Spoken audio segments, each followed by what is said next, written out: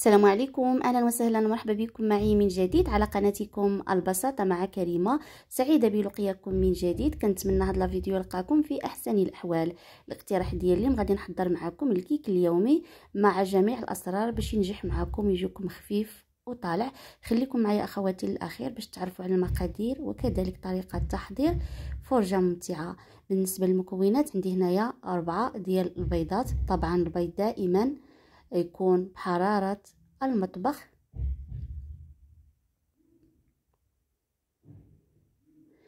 كذلك غادي نضيف كأس من السكر حبيبات طبعا العبار بالكاس ديال العنبه اللي السعه ديالو 150 ملي هنا كما كتلاحظوا معايا في الأول كنوضع البيض مع السكر وكذلك الزيت في الخلاط الكهربائي. ممكن تخدموهم غير بالخلاط اليدوي. هنا كذلك زدت واحد الكيس ديال السكر الفانيلي التنسيم ثم غادي نزيد هنا كأس إلا ربع ديال الزيت. المكونات هادو غادي نوضعهم في الخلاط الكهربائي وغادي نخلطهم مزيان حتى نلاحظ أن الخليط يعني بدا كيعقاد كذلك اللون ديال الخليط تغير نوعا ما. ممكن تخلطوهم غير بالخلاط آه اليدوي وتخدموهم مزيان.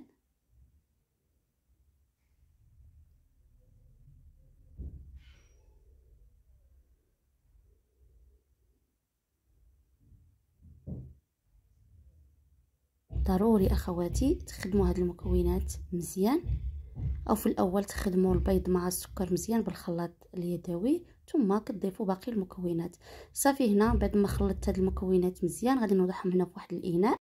صافي هنا أخواتي كنزيد نسم هاد الكيك بقشور ديال الحامض اللي كيعطيو صراحة واحد المذاق اللي أكثر من رائع. كنحاول أنني نحك غير القشرة الخارجية كالعادة.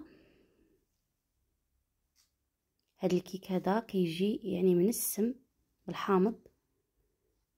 كنتمنى إن شاء الله أخواتي تجربوا هاد الكيك. صراحة كيك اللي ناجح وتلتزموا بجميع النصائح وكذلك المقادير.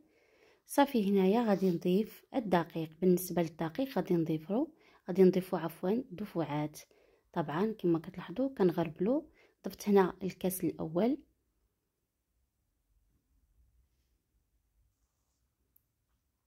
المجموع ديال الدقيق اللي غادي نضيف ثلاثة ديال الكؤوس. طبعا العبار بالكاس ديال العنبة اللي السعة ديالو 150 ملي هنا ضفت الكاس الأول. ثم غادي نزيد الكاس الثاني.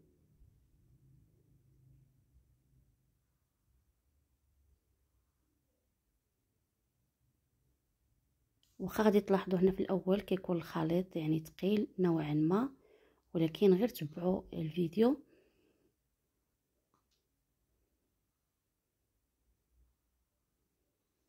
هنا كذلك غادي نزيد الكأس الثالث. وبطبيعة الحال المقادير مضبوطة كالعادة غادي نخليها لكم في صندوق الوصف. هنا غادي نزيد جوج أكياس من خميرة الحلويات الوزن 16 غرام لأن كل كيس فيه 8 غرامات.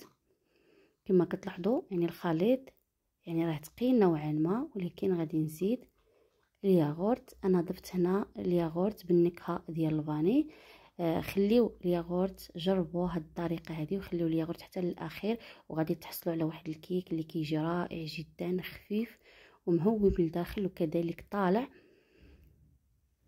هنا كما كتلاحظوا غير خلطوا مزيان وكذلك غادي نزيد آه واحد ديك الحامضة آه اللي حكيتها غادي نزيد العصير ديال النصف ديالها وغادي نتحصل على واحد الخليط اللي يكون آه، هو هذاك يعني كما كتعرفوا الخليط ديال الكيك ما خصوش يكون خفيف بزاف لأنه إلا كان خفيف بزاف غادي يطلع في الفرن كي تخرجوا غادي يهبط وكذلك إلا زدتوا له يعني الدقيق أكثر من القياس غادي يجيكم كيك اللي مدقس. صافي هنا كنخلطوا كما كتلاحظوا. وغادي نزيد كذلك واحد الربع كأس ديال العصير ديال الحامض. يعني الليمونة اللي حكيتها معكم غادي نعصر غير النصف ديالها.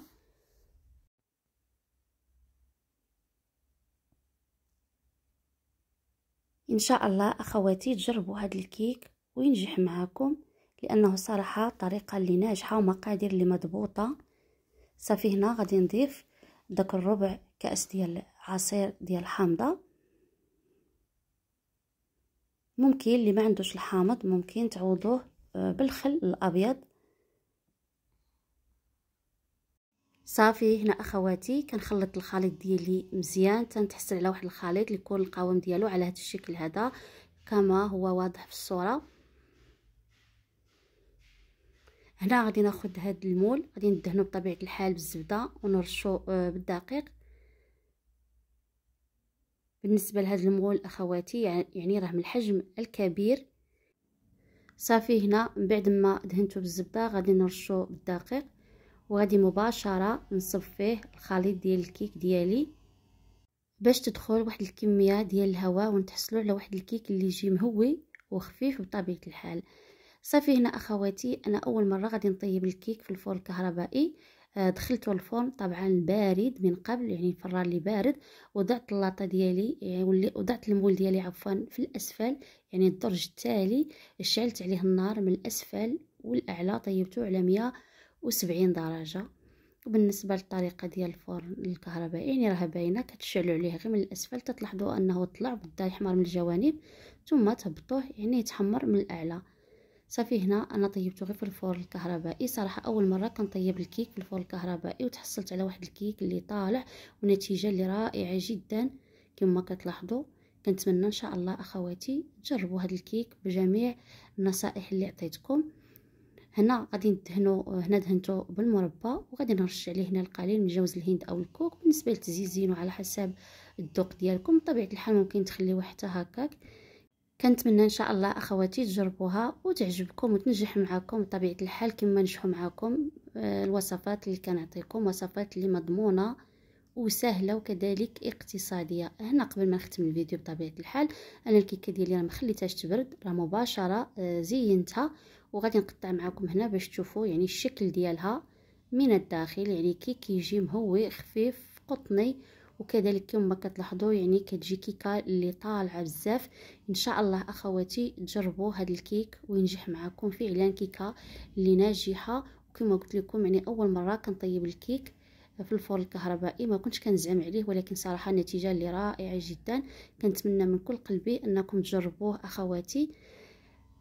لا فيديو ديال اليوم انتهى شكرا لكم على المتابعة وإلى الملتقى مع الجديد إن شاء الله. أخواتي كنتمنى يعجبكم هذا الفيديو. توصلوه لاكبر عدد من اللايكات وكذلك البارطاج مع الأهل والأصدقاء لكي تعم الفائدة. شكرا لكم على المتابعة وإلى الملتقى مع الجديد إن شاء الله.